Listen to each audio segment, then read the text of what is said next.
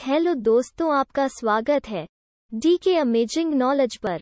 आज का टॉपिक है, पहाड़ों की रानी। मसूरी के बारे में मज़ेदार और रोचक तथ्य और कुछ अनोखी जानकारियाँ। अगर यह जानकारी आपको पसंद आए तो हमारे चैनल को सब्सक्राइब करें और वीडियो को लाइक करें। तो शुरू करते हैं। एक, मसूरी का नाम। तो आपने सुना ही होगा, में प्रसिद्धि मसूरी अपनी खूबसूरती और मनमोहक नजारों के जानी जाती है।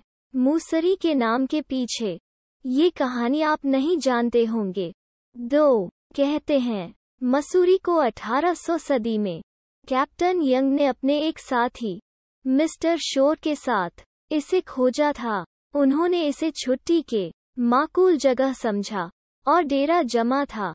इसके बाद उन्होंने देखा यहाँ पर मसूर के पेड़ बहुतायत में है। इसके बाद उन्होंने ही यहाँ का नाम मसूरी दे। मसूरी की खूबसूरती से इतना प्यार था कि उन्होंने इस हिल स्टेशन पर अपना घर बना लिया था। तीन, मसूरी में घूमने के कई सुंदर जगह हैं। के, शौकीनों के भी परफेक्ट जगह है।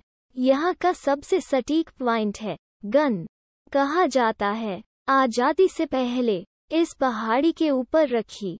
तोप से रोज़ाना, दोपहर के वक्त गोली चलाई जाती थी। लोग अपनी, थे, इसके कारण ही इसका नाम पड़ा। चार, हमेशा से मसूरी, भारत के लोगों के लिए सबसे पसंदीदा पर्यटन स्थल रहा है।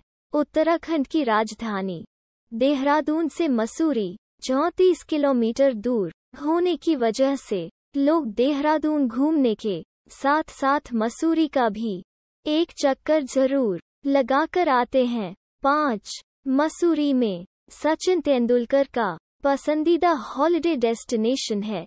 एक बार सचिन तेंदुलकर और उनके बिज़नेस पार्टनर संजय नारंग ने जब यहाँ अपनी प्रॉपर्टी पर रिजॉर्ट बनाने का निर्माण शुरू किया तो उनके इस कार्य को रक्षा अनुसंधान और विकास संगठन डीआरडीओ के नियमों के उल्लंघन की वजह से इसे तोड़ दिया गया। छह, सन उन्नीस सौ उनसठ में, जब तेईस वर्षीय तिब्बती, आध्यात्मिक नेता, दलाई लामा को, चीन द्वारा तिब्बत पर, कब्जा करने, और उपनिवेश बनाने के कारण, निकाल दिया गया था। वे तिब्बती निर्वासित, सरकार की स्थापना के लिए मसूरी आए थे तो मसूरी दलाई लामा का पहला घर था। इसके बाद उनका तबादला हिमाचल प्रदेश के धर्मशाला में कर दिया गया। दस, मसूरी नेहरू परिवार के पसंदीदा पर्यटन स्थलों में से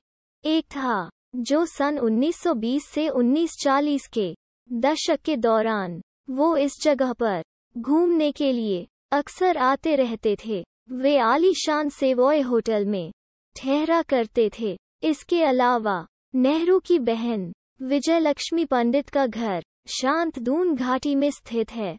साथ, भले ही इस हिल स्टेशन को अंग्रेज़ों ने बसाया हो, लेकिन इसका नाम एकदम स्वदेशी है। ये नाम झाड़ी मंसूर से लिया गया है। दरअसल, ये झाड़ी मसूरी में सबसे ज़्यादा पाई जाती थी।